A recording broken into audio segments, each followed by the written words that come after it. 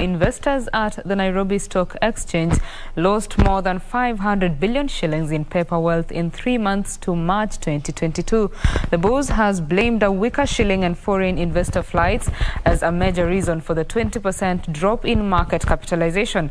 The NSE data shows equities market turnover declined by 6% to 26 billion shillings on account of a slowdown in activities attributed to ongoing geopolitical tensions in Europe and the upcoming Kenyan election. According to the latest Nairobi Securities Exchange report, in the last two instances, market turnover increased on account of heightened activity during election years. What happens pre elections is that um, investors don't necessarily sell. What they do, they put hold positions. Because if, if we were experiencing an outflow, our turnovers should still be up, isn't it? Because somebody will be selling. But right now, our turnovers are low because investors are holding their positions. NSE chief Geoffrey Odundo, however, warns that the current election driven sell offs could result in a reduced market capitalization and the lowering of stock valuations on weakening investor demand. Even as we keep out, put a case at the moment that markets are undervalued, uh, is for investors to really uh, look at the trends because trends provide a predictability for the future.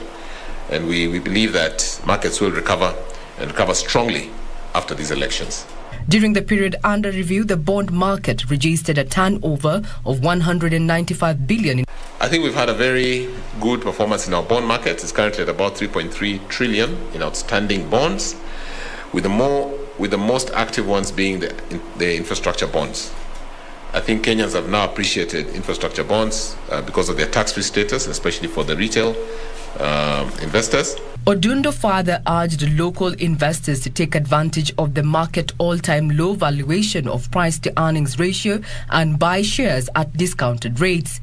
The NSE ranking at about just about 30% is is also indicative of uh, of what's going on, and and and this presents great price points, and that's why we keep telling. I think we've we've created a uh, we, we've, been, we've been accused of having a very confident narrative about this market, but I, I must say that presents attractive investment opportunities where multiples of less than 10%, um, less, sorry, less than 10, 10 times are presenting themselves and uh, very, very attractive investment opportunities.